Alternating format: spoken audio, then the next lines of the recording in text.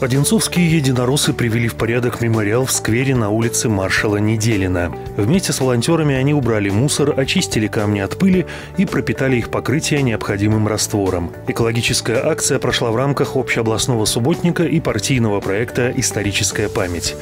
Также в этот день партийцы участвовали в экологических акциях во всех территориальных управлениях муниципалитета.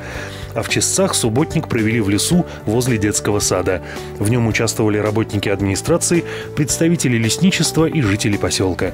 К ним присоединился и заместитель председателя Мособлдумы, член фракции «Единая Россия» Олег Рожнов.